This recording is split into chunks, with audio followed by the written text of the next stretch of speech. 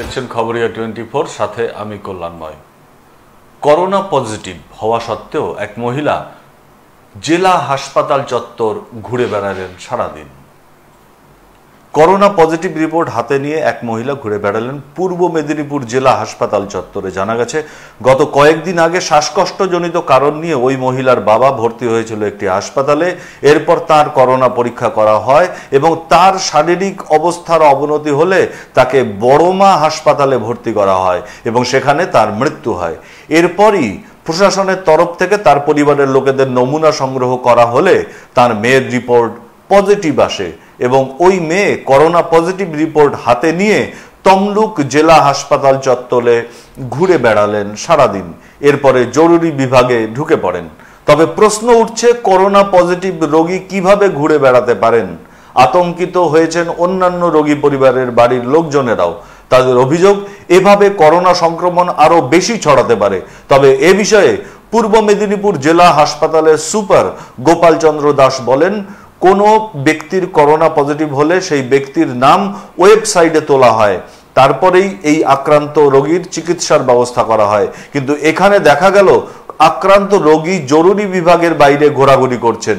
দীর্ঘক্ষণ দাঁড়িয়ে থাকলেও কোনো চিকিৎসক পাশে এসে দাঁড়াননি। সংবাদ মাধ্যম বিষয়টি জেলা শাসককে জানালে নড়ে চড়ে বসেন জেলা স্বাস্থ্য দপ্তর।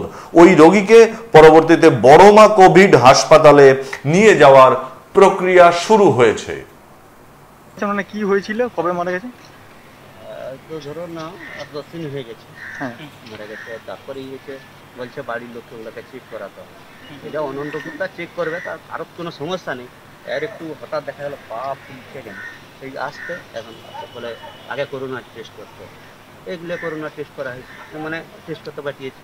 পাঠাতে এখন আজকে বেরিয়েছে পজিটিভ মানে কালকে আমরা আসছি জিতে জিতে আর আজকে কিন্তু পজিটিভ যখন একটা রেজাল্ট তার হাতে রয়েছে এটা সে কীভাবে ঘুরতে পারে এলাকায়? সে চিকিৎসক কিছু বলছে না? কি করে বলব আমাদের? চিকিৎসক কিছু বলেছে? এবার ওই বলছে বড় মাঠে করবে কি ময়না করবে? ওরা বিচার করতে নিয়ে গেছে। হাসপাতালে এইভাবে উনি ঘুরে বেড়াচ্ছেন সংক্রমণের চান্স থেকে যাচ্ছে না? যারা উনি না এই যে ইমার্জেন্সিতে যে ঢুকলো জরুরি বিভাগে সেটা কি না এখানে তো অন্য পেশেন্টও তো থাকে। আমরা সেটা বলতে পারি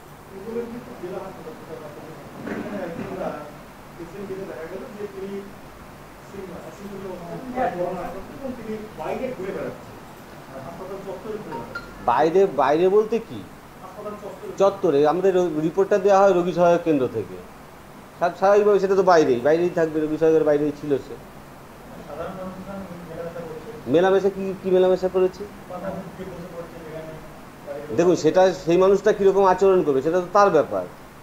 কিন্তু আমাদের যেটা করার সেটা হচ্ছে আমাদের যেটা কন্ট্যাক্ট থাকে বা ডিরেক্ট কন্ট্যাক্ট বা যাদের সিমটম আছে আমাদের জ্বরের আউটডোর থেকে তাদেরকে আমরা অ্যান্টিজেন টেস্ট করি। টেস্ট রিপোর্টটা এসে ওই অবধি আস্তে আস্তে যেটুকু সময় লাগে তার মধ্যে তো তাদের তো একটু সাবধানে থাকতে হবে। গতকাল যেমন চারটে পেশেন্ট হয়েছে আমাদের পোর্টালে চলে যায়। সে যদি বাড়িও চলে যায় রিপোর্ট টেস্ট করেও তার কাছে খবর চলে যাবে। সেখান থেকে মিউনিসিপ্যালিটি থেকে তাকে গাড়ি দিয়ে যেখানে যাওয়ার সেখানে পৌঁছে দেবে। সিএমএইচের দপ্তর থেকেও করে। এবার সেই যেহেতু আমাদের হাসপাতালে আছে, এইমাত্র আমি রোগী সহায়ক বলে দিলাম। যে সেই পেশেন্টটা পজিটিভ হলে তাকে টেস্ট করে যাতে এমার্জেন্সিতে নিয়ে যাওয়া। হয় এমার্জেন্সি সাধারণত পেশেন্ট ছাড়া তো আর এমার্জেন্সিতে যায় না। যার জন্য ওরা হয়তো সেভাবে মানে বুঝতে পারেনি সে বাইরে রোগী সহায়ক থেকে বাইরে পাশে আসলে লোকের সঙ্গে হয়তো কথা বলেছে। এই মাত্রই ঘটনাটা ঘটেছে। এই তো শুনলাম, আপনিও শুনলেন, আমিও শুনলাম যে এই মাত্রই এই মাত্রই সে রিপোর্টটা নিয়েছে, এই মাত্রই সে বাইরে জিজ্ঞেস করেছে আপনাদের ঘণ্টা দুই আপনি বলছেন আমি তো জানলাম যে এই মাত্র রিপোর্টটা পেয়েছে। তাই সেটা তাদের বুঝতে হবে তো। এই পেশেন্ট তো আমাদের ডিল করি না। বোঝা গেছে?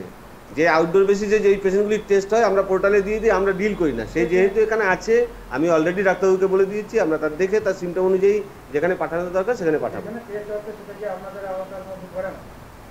টেস্ট আমাদের আওতার মধ্যে আমাদের টেস্ট আর্জি করে হয়। সেই পেশেন্টের পেশেন্টগুলি কি আর্জি করে আওতায় পড়ে? তাহলে কেন উল্টো কোশ্চেন করছে? পজিটিভ রিপোর্ট পেশেন্টের হাতে যাবে। পেশেন্টের পেশেন্টের আমরা পাঁচটার পরে আজকে এই তো তো আগে রিপোর্ট দিয়ে দিচ্ছি টেস্ট করে সে চলে যাবে পাঁচটার পরে আমরা সাধারণত রিপোর্ট থাকলে তাদের দেওয়ার কথা আছে। পজিটিভ রিপোর্ট পোর্টালে উঠে গেলে ওখানে নোডাল পার্সন আছে একটা টিম করা আছে ডিস্ট্রিক্টে তারা সঙ্গে সঙ্গে সেখানে খবর দেবে। এই লোকটাকে তো আমি ফোন করেও ফোনে পাচ্ছি না তাকে। ফোন ধরছে না। এটা তো ছোটোখাটো ব্যাপার রয়েছে, কিন্তু যেটা আছে সেটা হচ্ছে সিস্টেমটা বুঝতে হবে। এর জন্য একটা কমিটি করা আছে পুরো। পোর্টালে যখনই রেজাল্টটা যাবে, তখনই তারা সেটা জেনে যাচ্ছে। পোর্টালে তারা দেখতে পাচ্ছে। যাদেরই পজিটিভ পাবে, তারা সেখান থেকে কমিউনিকেট করবে তাদের সঙ্গে। সে যদি হাসপাতালে পেশেন্ট হাসপাতালে ইনফরমেশন আসবে। যদি বাড়িতে চলে গিয়ে থাকে, বাড়ি থেকে তাহলে সে ইয়ে সিস্টেমের মধ্যে থেকেই তাকে তুলে নিয়ে যাওয়া হবে। সে কোভিড হাসপাতালে যাবে না এখনকার মতো খবর এই পর্যন্তই। পরবর্তী খবরের দিকে চোখ রাখুন। খবরিয়া টোয়েন্টি ফোর।